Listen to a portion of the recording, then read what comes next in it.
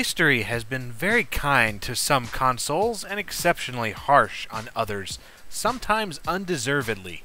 This really just applies to many of the consoles other than the main ones that appeared in the early 1990s. Specifically, the year in this case is 1993. The CD and full motion video craze is taking off, and every company is jumping on the bandwagon, including Sega, Atari, NEC, Amiga, SNK, Philips, and eventually Sony. But there was also a newcomer to the game console arena, 3DO. Released in 1993, the 3DO was the first dedicated CD-ROM console in America and is one of the more unique game system ideas. 3DO was conceived by the founder of Electronic Arts, Trip Hawkins, as a not only next-gen game console, but an entire media experience in one machine, which explains its full name, the 3DO Interactive Multiplayer. The idea was that it would take full advantage of emerging interactive entertainment mediums such as full motion video, video and audio CDs, and 3D applications. The name 3DO itself is derived from this mantra you have audio, you have video, but now you have 3DO. that is so lame, but it is so rad. As a result, the machine was hyped to no end before released and was deemed by many as the next biggest thing in electronic entertainment. However, due to a whole list of things like licensing options, poor games, and not the least of which, the $699 price tag, the 3DO only lasted a couple of years before being overtaken completely by the Sony PlayStation, eventually going the way of Atari and Sega, only making software from that point on. But that's the end of the story. Let's go back to the beginning. One of the most unique aspects of the 3DO was its licensing system for both the hardware and games. Trip Hawkins had lots of experience with this and was not satisfied with how hardware companies charged for licensing. So 3DO never actually made a console, but instead sold the rights to produce them for a fee. They also charged very little to produce games for the 3DO in comparison to the high fees from companies like Nintendo and Sega. These practices resulted in multiple versions of the 3DO system, as well as lots of very cheaply made games. Let's go to the hardware side of things. Panasonic made the first 3DO system worldwide, the FZ1. It's the model with a front-loading mechanical tray and is generally considered one of the better quality systems. They also made a later cost-reduced version, the FZ10, which uses a flip-top CD-ROM. Otherwise, the alternative was the cheaper system by Goldstar. It looks pretty similar to the FZ1, but is less compatible with certain games. Another prominent hardware player was Sanyo, which made systems in Japan only, so you probably won't be seeing these in the US. I got my Panasonic FZ1 3DO for $70, with two controllers and all the cables. Between $50 and $80 seems to be about the current going rate for an FZ1, while the Gold Star and FZ10 models usually go for a little bit less depending on games and accessories. I went with this one because I wanted the maximum compatibility and build quality, and I just like how it looks. It's heavy, with a built-in power supply, and looks like a quality bit of equipment. And I especially like the top of the system itself. It can be hard to see, but there is a nice granite-like texture with a glossy finish, which really looks spectacular. Further in line with its high quality is the fact that it uses no proprietary AV ports. There is no need for any proprietary cabling. All you need is a standard RF or RCA outputs with Dolby surround sound and even S-Video in there if you want it. The one thing you may notice is missing is a memory card port. That's because the 3DO has fixed internal memory, 32 whole kilobytes. There are a couple of expansion ports that you'll never use as well, but here's an odd characteristic. There's only one controller port, but you don't need a multi-tap for more controllers. Unlike one-port consoles like the TurboGrafx 16, you daisy-chain controllers together for multiplayer games. Thankfully, the cords are quite freaking long, so you don't need to play any Dude Man Bro death matches together. The controllers themselves are surprisingly decent, with three face buttons and two very nice shoulder buttons. The D-pad is similar but tighter than the Genesis 6-button controller, but there's only five main buttons, and the standard set by Nintendo and later Sega has six, so a couple of games can get awkward.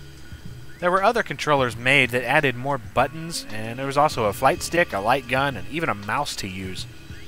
You can see what 3DO is trying to do here with the multimedia aspect, with each button corresponding to typical VCR-like functions.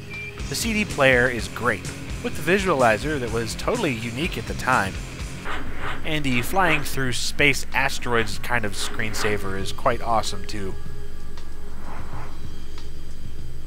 You even get a headphone jack and volume control knob on the first edition controllers, which is absurdly cool. However, when you plug in headphones, it doesn't mute your TV though. So take note if you're playing something like The Coven and think all you've got is the headphone sound going, yeah, that can get awkward.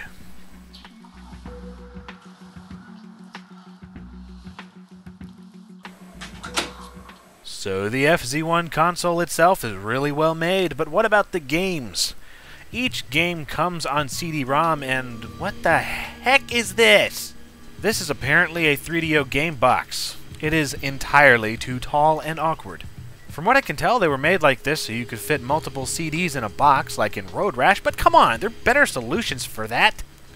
Being so tall, they're hard to fit on any normal type of shelf without readjusting everything and the cheaper game boxes fall apart really easily as a result. I mentioned it has 32K of internal memory. Well, this is all well and good, but 32 kilobytes? Some games take up multiple 4K slots, so you'll run out really fast. And get this, there's no way to even delete and manage your save data on the FZ1. So you'll need a game with an internal built-in memory manager or a disk like Game Guru to manage your save games. Also, as mentioned, there were very low licensing fees for games, so really almost anybody could slap something together and call it a game. It was also a time where full motion video was the future, and everybody wanted to take advantage of the CD-ROM format, filling the whole 650 megabytes up just because they could. This just because you could mentality unfortunately led to lots of lame games on the system, and plenty of utter garbage. What's really sad is that 3DO is actually really sucky at doing 3D. Maybe the programmers just didn't know what they were doing. I mean, the port of Doom, for instance, runs horribly and is barely playable as a result. But there is a very nice selection of worthwhile games if you really take a look. Here are some of my favorites.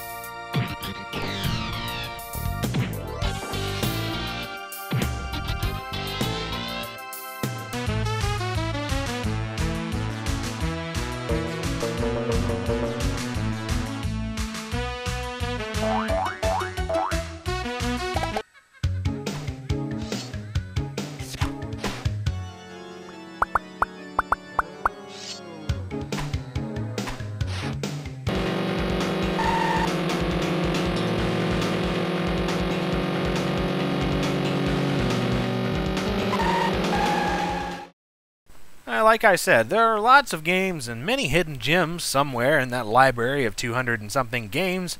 A great way to check them out is to just download some ISOs and burn them. Yeah, the 3DO has absolutely no copy protection.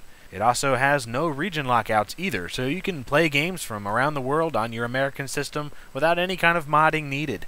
The games themselves can be hard to find complete in their long box, but loose or in a jewel case, they really aren't too hard to find and are usually pretty cheap. So you may be looking at the 3DO and going, hmm, should I really get this or not? I mean, is it worth the cost? Well, from one point of view, it is definitely worth the cost.